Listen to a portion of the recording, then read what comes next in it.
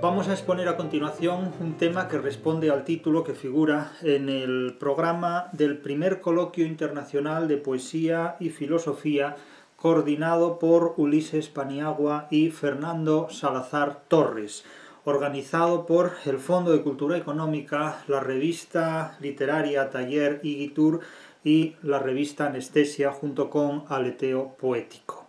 En este primer coloquio internacional de poesía y filosofía, al que muy generosamente me han invitado sus coordinadores y organizadores, a quienes quiero agradecer esta gentileza, hablaré sobre literatura áurea en español y globalización, poesía y filosofía en tres sonetos de Sor Juana Inés de la Cruz. Este será el tema de mi exposición.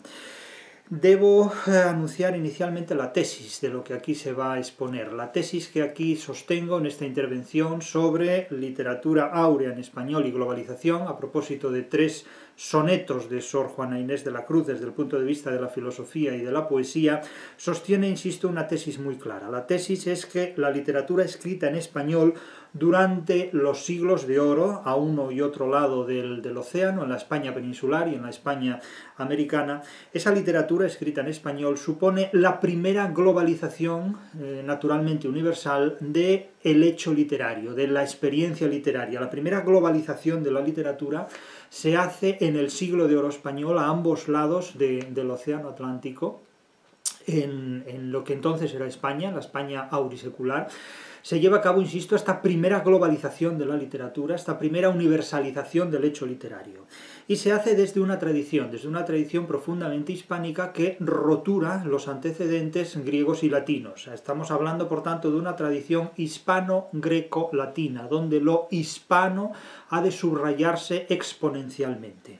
Pues desde esta tradición hispano-greco-latina, que en el siglo de oro en la España peninsular y en Hispanoamérica, en la España americana, ejecuta, objetiva esta globalización, esta experiencia literaria universalizada eh, que ningún otro país ha superado, ni ha intentado antes, ni ha superado después, está, insisto, eh, lo esencial, lo esencial de lo que ha sido y sigue siendo la cultura hispánica, la cultura hispánica en la cual no se puede separar lo hecho desde la España peninsular y lo hecho desde Hispanoamérica.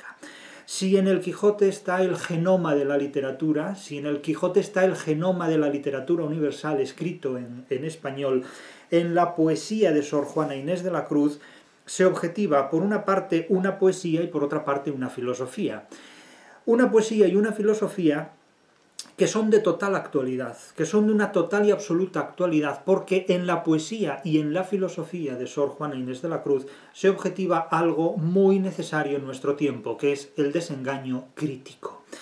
El desengaño crítico que está presente en la poesía y en la filosofía de Sor Juana hace que el ser humano sea plenamente compatible con la realidad, con la realidad que le toca vivir. El ser humano es compatible con esa realidad y es compatible consigo mismo, insisto, en la poesía y en la filosofía de Sor Juana Inés de la Cruz. Es decir, estamos hablando de una de, las autoras más contemporáneas de, lo que nos toca vivir, más contemporáneas de la literatura clásica española, de la literatura barroca en este sentido.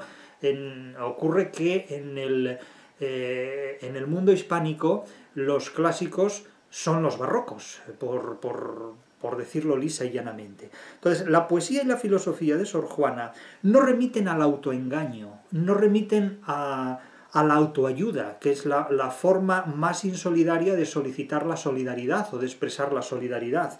No remiten a la ilusión, ni remiten tampoco al idealismo, sino a todo lo contrario. Es decir, que en lugar de remitir al autoengaño, remiten al desengaño, que es a lo que remite siempre la literatura española del siglo de oro. No es una literatura para engañar a la gente, sino para desengañarla, es decir, para hacerla compatible con la realidad que le toca vivir y para hacerla compatible consigo misma.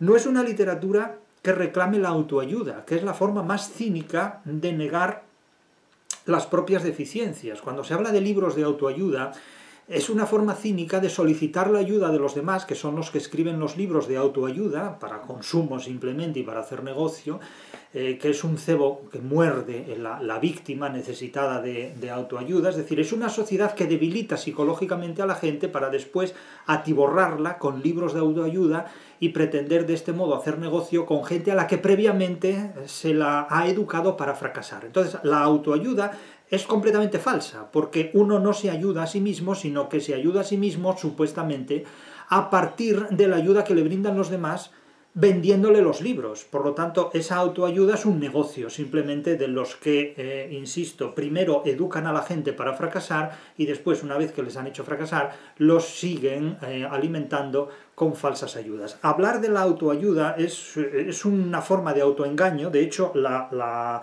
la autoayuda es, es el eufemismo por el autoengaño, que es la versión insolidaria, insisto, de la solidaridad, porque no te estás ayudando tú a ti mismo, sino que estás eh, negando, negando que sean otros los que te están ayudando a ti, cuando en realidad estás pagando precisamente por comprar un libro llamado de autoayuda, que lo único que está haciendo es intensificar tu fracaso. No es, insisto, la literatura de Sor Juana Inés de la Cruz, una literatura orientada al autoengaño, sino al desengaño, no a la autoayuda, sino simplemente a la solidaridad humana. Es decir, el siglo de oro era un siglo enormemente solidario, a pesar de todo lo que nos han contado desde la leyenda negra. Y por otro lado, es una literatura que, lejos de ilusionar al lector, lo que hace es citarlo con la realidad, es decir, disuelve las ilusiones para educar al ser humano en una interacción, en una relación directa con la, con la realidad de tal manera que no es una poesía que invite al idealismo, sino que es una poesía que nos cita con el materialismo, por muy monja que haya sido esta escritora.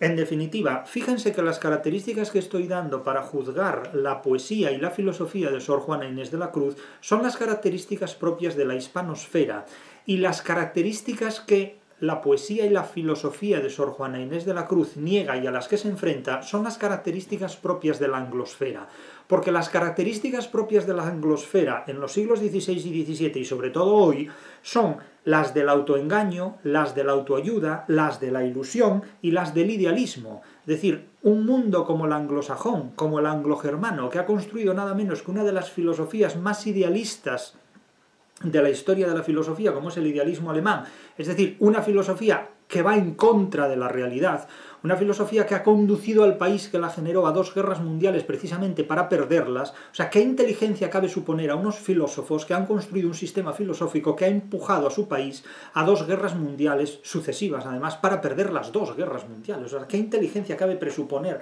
a todos estos pensadores y todos estos filósofos? Es decir, son las características de la anglosfera frente a las características de la hispanosfera que, insisto, son el desengaño, son la cita con la realidad, son una visión materialista de los hechos humanos y son, por supuesto, una visión solidaria de la ayuda mutua en lugar de la presunta autoayuda. Es decir, quien habla de la autoayuda es alguien que niega que esté necesitando la ayuda de los demás, cuando en realidad los libros que está leyendo los han escrito otros.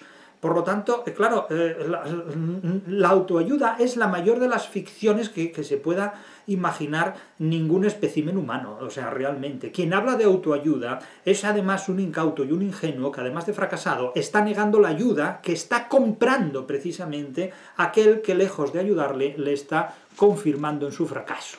En definitiva, los mejores eh, textos, la mejor literatura para prevenir el fracaso y para citarse con la realidad está en la poesía y en la filosofía de Sor Juana Inés de la Cruz. Ahora bien, si hablamos de poesía y hablamos de filosofía, hay que definir qué es la poesía y qué es la filosofía. La poesía es filosofía en verso, la poesía es filosofía en verso, directamente. Es una filosofía en verso que plantea, desde el punto de vista de una crítica de la razón literaria, desde el punto de vista de una crítica del racionalismo literario, un pensamiento inédito, un racionalismo inédito que no existía antes de que se escribiera ese poema. Es decir, que la poesía es siempre original o no es. Y por otro lado, ¿qué es la filosofía? Pues la filosofía es un modo de relacionar las ideas de las que disponemos y de las que nos servimos para actuar. Eso es la filosofía, un modo de relacionar las ideas de que se dispone y de las ideas que uno, una persona, utiliza para operar, para actuar, para vivir. Por tanto, entendemos por poesía filosofía en verso y entendemos por filosofía un modo de relacionar las ideas de las que disponemos y desde las cuales actuamos y organizamos nuestra vida, pero nuestra vida activa, nuestra vida factible. Ahora bien, en esta definición que he dado de filosofía, los modos que relacionan las ideas de las que disponemos para actuar, hay cuatro criterios fundamentales, los modos, las ideas, las relaciones y las acciones o las operaciones. Y naturalmente estos modos, estos modos pueden organizarse de forma concertada o de forma desconcertada. Y eh, si en un eje eh, horizontal eh, establecemos estos cuatro criterios, los modos, las ideas, las relaciones y las operaciones, y en un eje, digamos, vertical establecemos los procedimientos concertados o los procedimientos desconcertados, tenemos que distinguir un cuadro que yo les voy a verbalizar y que eh, ustedes, que son muy imaginativos, podrán dibujar en su cabeza. Los modos pueden ser sistemáticos o asistemáticos. Se puede hacer una relación de las ideas de modo sistemático o de modo asistemático. Pensemos que un filósofo sistemático es Gustavo Bueno y un filósofo asistemático es Federico Nietzsche. Claro que eh, las ideas que relacionamos pueden mm, relacionarse, insisto, de modo sistemático o de modo asistemático. Si lo hacemos de modo sistemático tendremos una filosofía sistemática, si lo hacemos de modo asistemático tendremos una filosofía pues sin sistema o, con, o asistemática. Eso en cuanto a los modos. Las ideas, por otro lado, pueden ser racionales o irracionales. Podemos trabajar con ideas racionales, en el caso de la escolástica de Tomás de Aquino, o podemos trabajar con ideas irracionales, en el caso de Nietzsche, volvemos de nuevo a Nietzsche, o en el caso de Heidegger, o en el caso de los filósofos irracionalistas, ¿no? que sitúan, o en el caso de Lutero, es decir, que sitúa cualquier impulso emocional por encima de cualquier criterio racional. Por lo tanto, eh, tenemos por un lado los modos sistemáticos o asistemáticos, los modos de filosofar, tenemos las ideas filosóficas que pueden ser racionales o irracionales. Y por otro lado tenemos las relaciones. Las relaciones de las ideas pueden hacerse de manera crítica o dialéctica, enfrentando unas ideas contra otras ideas, o pueden establecerse de una manera acrítica o dialógica, es decir, tratando de mm, armonizar esas ideas aunque resulten incompatibles entre sí. Téngase en cuenta que hoy día la posmodernidad ha sustituido la dialéctica por el diálogo y trata de plantear la relación entre las ideas como si las ideas fueran todas ellas compatibles entre sí y como si no hubiera oposición entre las ideas, algo que es absolutamente inaceptable para el pensamiento barroco español. El barroco plantea siempre un enfrentamiento dialéctico entre las ideas, es decir, un enfrentamiento crítico, de tal manera que no está dispuesto a asumir que las ideas sean perfectamente armónicas y perfectamente compatibles entre sí, sino que plantea precisamente lo contrario, que a las ideas hay que relacionarlas de manera racional y desde criterios, desde criterios críticos, valga la redundancia, o dialécticos enfrentados entre sí y no falsamente armónicos, no falsamente compatibles. Por otro lado, si distinguimos entre los modos sistemáticos o asistemáticos, entre las ideas racionales o irracionales y entre las relaciones críticas o dialécticas frente a las relaciones acríticas o dialógicas, nos, cae, nos cabe por referirnos nos queda por referirnos a un cuarto criterio, que es el de las operaciones, nuestra forma de actuar. Claro, nuestra forma de actuar puede orientarse hacia la ejecución, la operación, la consecución, la realización de hechos factibles o la realización de hechos imposibles. Claro, en el primer caso, cuando nosotros actuamos, obramos, operamos para llevar a cabo hechos posibles, hechos factibles, estamos adoptando una filosofía materialista. ¿Por qué? Pues porque lo que pretendemos es llevar a cabo hechos corpóreos, materiales, tangibles, hechos efectivos. Sin embargo, si nos situamos en ideas, relaciones y modos que traten de orientarse a ejecutar hechos psicológicos, ideales o metafísicos, estaremos pues en el campo de las filosofías idealistas. Es decir, que la utopía es el resultado inalcanzable, imposible, de una filosofía idealista. Sin embargo, la política de un Estado que funciona, como hace España organizando casi tres continentes durante 300 años, es una política efectiva. ¿eh?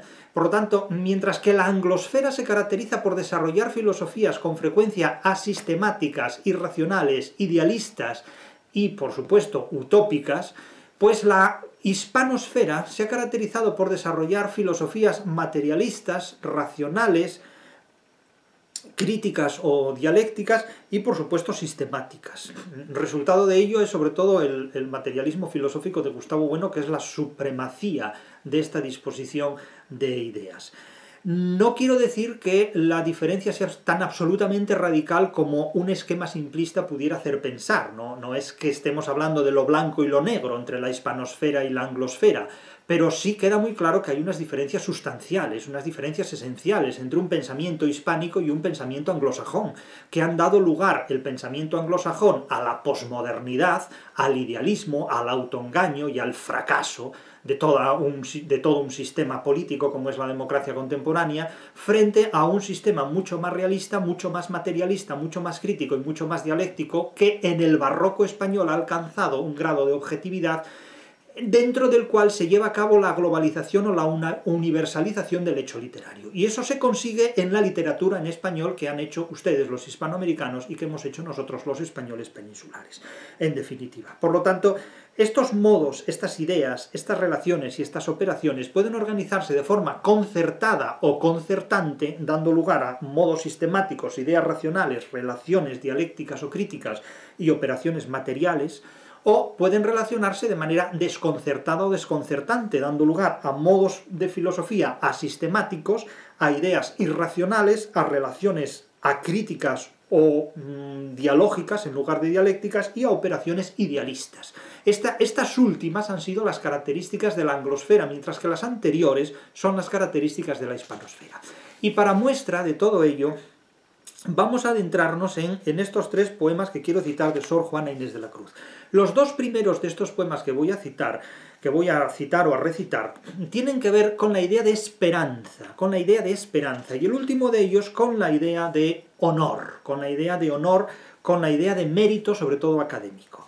El primero de estos poemas, junto con el segundo, eh, cantan a la esperanza en términos absolutamente críticos, absolutamente críticos. Todos recordamos que la filosofía de Benito de Spinoza eh, parafrasea un lema, un adagio clásico, una máxima clásica, en virtud de la cual el miedo y la esperanza son los cercos de la religión. El miedo y la esperanza son los instrumentos que la religión utiliza para oprimir al ser humano. La religión y muchas otras cosas, también las ideologías.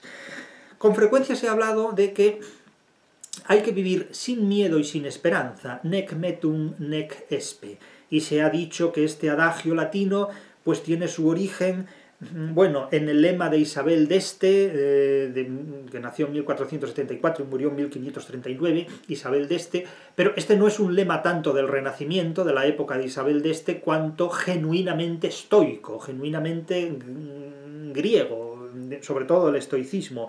Spinoza lo utiliza indudablemente en su tratado teológico político y en toda su obra, pero es una máxima estoica que se atribuye a Hecatón y que después ha sido adaptada naturalmente por Séneca, pero aquí la traigo a colación sobre todo porque era el lema del escudo de armas de Felipe II, sin miedo ni esperanza. No solo hablamos del plus ultra, del más allá, como lema de España, sino que estamos hablando de un lema estoico que rebasa, digamos, los criterios políticos de una nación porque hay una ética, frente a la ética protestante de Max Weber, hay una ética que es la ética hispana. La ética hispana está objetivada perfectamente en la poesía de Sor Juana Inés de la Cruz. Y tiene que ver con este lema mucho más desarrollado y universalizado, globalizado en español, que es sin miedo y sin esperanza. Nec metu, nec espes que está, insisto, presente en el escudo de armas de Felipe II. Aunque esto pueda ser políticamente muy relevante, pero literariamente es simplemente una anécdota, porque aquí lo que literariamente importa es eh, la obra de Sor Juana a la que nos estamos refiriendo desde criterios de poesía y desde criterios de filosofía. Dice el poema de Sor Juana, donde la esperanza queda anatematizada como una forma de autoengaño. La esperanza para eh, Sor Juana es una forma de autoengaño que hay que evitar, que hay que conjurar. Nótese que para el mundo anglosajón la esperanza es una forma de autoayuda. Pues veamos en qué términos expresa Sor Juana sobre la esperanza. Leo el primero de los sonetos. Sospecha crueldad disimulada el alivio que la esperanza da. Es decir, que Sor Juana considera que la esperanza es una crueldad oculta, es una crueldad disimulada. Confiarse a la esperanza es sufrir doblemente. El soneto dice, Diuturna enfermedad de la esperanza, que así entretienes mis cansados años, y en el fiel de los bienes y los daños tienes en equilibrio la balanza, que siempre suspendida en la tardanza de inclinarse no dejan tus engaños, que lleguen a excederse en los tamaños la desesperación o confianza. ¿Quién te ha quitado el nombre de homicida? Pues lo eres pasevera si se advierte que suspendes el alma entretenida. Y entre la infausta o la felice suerte no lo haces tú por conservar la vida, sino por dar más dilatada muerte. Es decir, que en esta diuturna enfermedad de la esperanza, larga, de larga duración, interminable, crónica enfermedad de la esperanza, hace sufrir al ser humano mucho más, porque la esperanza es uno de los ingredientes fundamentales del autoengaño. Hay que vivir sin esperanza, porque la cita con la realidad implica reemplazar la solución del problema por cualquier ilusión. Es decir, que no podemos mm, confiarnos a la esperanza y dejar la casa sin barrer, dejar los problemas sin resolver, que es el objetivo fundamental de la filosofía de la ideología de la propia obra poética de Sor Juana Inés de la Cruz. La, enfermedad es lo que califica a la esperanza, porque es una forma de autoengaño completamente.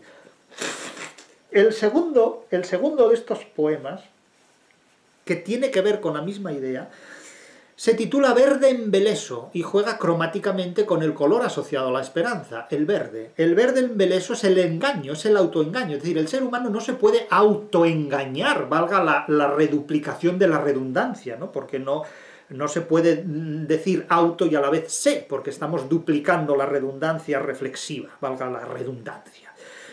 Este segundo soneto dice así, Verde embeleso de la vida humana, loca esperanza, frenesí dorado, sueño de los despiertos intrincado como de sueños de tesoros vana, alma del mundo senectud lozana, decrépito verdor imaginado, y el hoy de los dichosos esperados y de los desdichados el mañana. Sigan tu sombra en busca de tu día, los que con verdes vidrios por anteojos todo lo ven pintado a su deseo que yo, más cuerda en la fortuna mía, tengo en entrambas manos ambos ojos y solamente lo que toco veo. Notes el materialismo innegable de la poesía, y solamente lo que toco veo, es decir, la exigencia de una realidad tangible, corpórea y por supuesto operatoria. Eh, podemos acordarnos del apóstol Tomás, que exigía tocar para creer, ¿no? Y cómo los cristianos de entonces eh, lo despreciaban, porque la cuestión era precisamente creer por fe, no por razón. Es decir, los cristianos genuinos eran totalmente luteranos en este sentido, porque no consideraban que de ninguna manera la fe pudiera ser soluble en el racionalismo y explicable racionalmente como consideraba la escolástica, sino que eran más agustinianos. Es decir, no tenían razones para justificar su fe y trataban de vivir sin razones, de espaldas al racionalismo.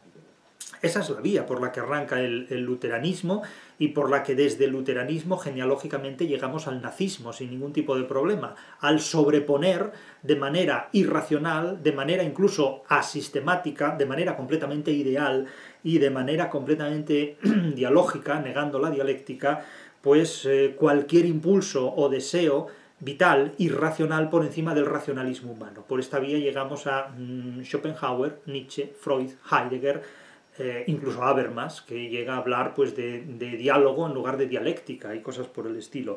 Pero notes este anatema contra la eh, esperanza como una de las formas del autoengaño que hace al ser humano incompatible con la realidad. Es que desde el punto de vista del racionalismo humano, determinadas formas de esperanza son completamente incompatibles con la realidad, son completamente incompatibles con la realidad. Y esto es lo que esta lección de filosofía objetivada en la poesía de Sor Juana Inés de la Cruz nos enseña de forma completamente explícita. De forma completamente explícita. El, el tercero de estos poemas tiene que ver sobre todo con el honor, con el honor académico. Y quiero citar aquí unas palabras de José Antonio Márquez González, quien eh, no cita este poema, pero sí recuerda el contenido de este poema cuando habla mm, de la fundación de las universidades de Lima y México. Y quiero leer aquí este fragmento porque a veces con frecuencia cuando se habla de la leyenda negra se olvida de la cantidad de universidades que mm, España eh, constituyó en su territorio. Eh, es decir, no es que Hispanoamérica fuera de España, es que Hispanoamérica era España entonces, era, era España entonces, o sea, no, no, es que fuera de España, sino que era España, no, no hay una relación genitiva, sino que es una realidad sustantiva. No, no es que México fuera de España, ¿no? México nunca fue de España porque México existe en 1821 y no antes. Es decir, lo, lo que era España es el virreinato de Nueva España, en definitiva, como su nombre indica. Bueno, pues cito a José Antonio Márquez González cuando cita la Ley 1 relativa a la fundación de las universidades de Lima y México. A ver si encuentran ustedes en la anglosfera eh, fundación de universidades en, los territorios eh, ocupados por Inglaterra eh, en estos términos. Para servir a Dios nuestro Señor y bien público de nuestros reinos, conviene que nuestros vasallos, súbditos y naturales tengan en ellos universidades y estudios generales, donde sean instruidos y graduados en todas ciencias y facultades. Y por el mucho amor y voluntad que tenemos de honrar y favorecer a los de nuestras Indias, y desterrar de ellas las tinieblas de la ignorancia, es decir, que no se trataba de difundir la barbarie, sino de incorporar a la civilización y al conocimiento a los habitantes de aquellas tierras, fueran quienes fueran. Y desterrar de ellas las tinieblas de la ignorancia, criamos, fundamos y constituimos en la ciudad de Lima, de los reinos del Perú, y en la ciudad de México, de la Nueva España, universidades y estudios generales, y tenemos por bien y concedemos a todas las personas que en las dichas dos universidades fueren graduados, que gocen en nuestras Indias y tierra firme del mar océano, de las libertades y franquezas de que gozan en estos reinos los que fe gradúan en los que se gradúan en la Universidad y Estudios de Salamanca, así en el no pechar como en todo lo demás. En cuanto a jurisdicción, fe guarde la ley 12 de este título. Hablamos de los años 1548 y 1551. Quiere decir que se fundan universidades en, la España americana en las mismas condiciones, en las mismas condiciones eh, que la Universidad de Salamanca y con los mismos derechos y legitimidades, sin discriminación de ningún tipo. Bien, en este contexto académico, en este contexto universitario, Sor Juana escribe un soneto burlesco, calificado de burlesco, pero que es mucho más serio de lo que parece, porque el humor es una cosa muy seria, el humor es una cosa muy seria. Y en este soneto burlesco, pero enormemente crítico, eh, cuyo lema o título es que celebra a un graduado de doctor, es decir, cuando alguien se gradúa como doctor, que tenía una serie de prerrogativas, como hoy puede ser un catedrático, etcétera, etcétera, o este tipo de cosas, pues em, Sor Juana advierte de los peligros que pueda suponer para el graduado doctor, para el nuevo personaje académicamente reconocido, el resultar un engreído o el creerse más listo de lo conveniente. Esto es como cuando alguien se hace catedrático, ¿verdad? Y entonces se cree el rey del mambo o se cree que es alguien pues muy importante o que se cree más importante por ser catedrático que por ser otra cosa. Y entonces, nótese cómo en este punto la poesía de Sor Juana es enormemente eh, observadora de una serie de cuestiones que no se pueden obviar, que mm, el ser humano, por muy listo que sea, por muy inteligente que se tenga, por muy valioso que se reconozca, siempre será, en el mejor de los casos, el flamante sepulcro de un gusano. Claro, esta imagen tan infame, tan vil, podríamos decir, tan infame desde el punto de vista de la gloria que supone pues ser reconocido como graduado, como catedrático, como académicamente respetable, pues es enormemente reveladora. Entonces, claro, conviene vivir mm, sin confiarse excesivamente a la esperanza y, por supuesto, sin creerse nunca un engreído por los méritos recibidos, incluso aunque estos méritos sean académicos. El soneto dice así, que celebra un graduado de doctor. Dice, Vista tus hombros el verdor lozano, joven con que tu ciencia te laurea, y puesto en ellos dignamente sea índice de tus méritos ufano. Corone tu discurso soberano la que blanda tus sienes lisonjea, insignia literaria en quien se emplea el flamante sepulcro de un gusano.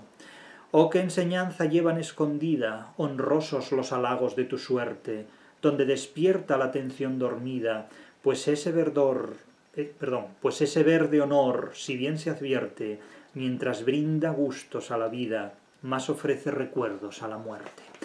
Bien, nótese claramente que se trata de un soneto donde si por una parte se exalta el reconocimiento del mérito académico, por otra parte se le recuerda al reconocido doctor al meritorio doctor, que al fin y al cabo no es más que cuerpo que un día morirá y que se comerán los gusanos. Por lo tanto, que por mucho mérito académico que quepa en su cabeza, en su cuerpo, en su trayectoria curricular, etcétera, etcétera, siempre será, en el mejor de los casos, el flamante sepulcro de un gusano, es decir, comerte a gusanos.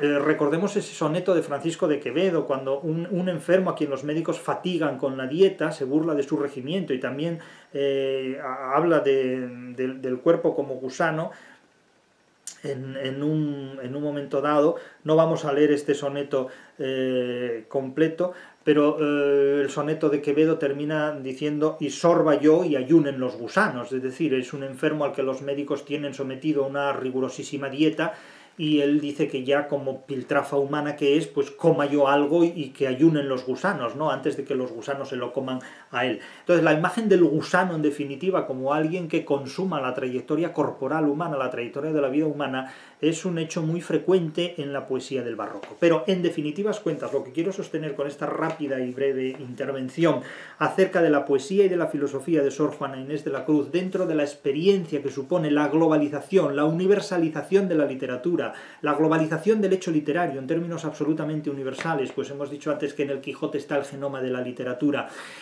y en la poesía de Sor Juana Inés de la Cruz está también esta contribución a la globalización del hecho literario, escrito todo ello en español, es que su filosofía y su poesía son tremendamente contemporáneas, son de una actualidad absolutamente innegable, y que lejos, lejos de citarnos con la mentira, con el autoengaño, con la falacia, con el idealismo y sobre todo con el embeleso general de la posmodernidad de manufactura anglosajona, nos citan con la tradición de la literatura española y de la filosofía y de la poesía objetivadas en esa literatura española, que constituyen indudablemente una cita con la realidad corpórea y material de la que vivimos y en la que vivimos, y cuyo objetivo fundamental es hacer al ser humano compatible con la realidad dentro de la cual tiene que sobrevivir, asumiendo, asumiendo la realidad y la veracidad de las exigencias de la vida y las complejidades de esta vida, lejos de los idealismos que ha diseñado la anglosfera simplemente para hacer fracasar a los seres humanos. Es decir, aquí la tesis que sostenemos es que el triunfo de la anglosfera políticamente ha dado lugar a una democracia que en estos momentos está agotada completamente como sistema político, agotada completamente como sistema político, y en los estertores de, este agotamiento, lo único que triunfa, en definitiva, son los idealismos, el autoengaño y una sociedad que educa al ser humano para fracasar. Frente a esta tendencia, lo que tenemos es una filosofía genuinamente hispana, que, insisto, díganme que no está presente esto en Sor Juana Inés de la Cruz, díganme que no está presente esto en la literatura novohispana escrita en español, y se equivocarán al, al hacer semejante afirmación. Porque en la literatura española hay una poesía y hay una filosofía que constituye frente a cualquier ética protestante una ética hispánica, una ética escrita en español que ningún otro país del mundo ha logrado superar. Y para muestra de ello, ahí tienen delante la globalización literaria que está escrita en español, en el español que ustedes y yo hablamos.